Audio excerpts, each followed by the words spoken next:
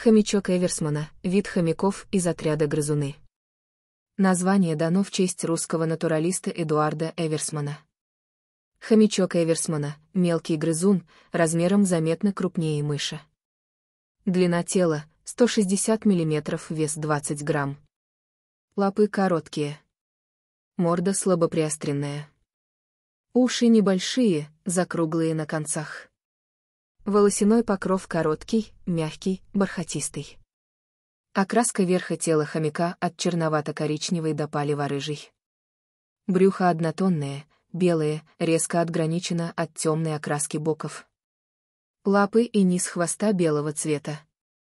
Распространен в северном и центральном Казахстане. Обитает преимущественно на участках злаково-полынной степи. Избегает сильно увлажненных мест. Питается семенами и частями различных злаковых растений, в том числе культурных, полыней, солянок, луковицами, а также насекомыми. Активен в сумерках, вечером и ночью. Часто использует норы других грызунов.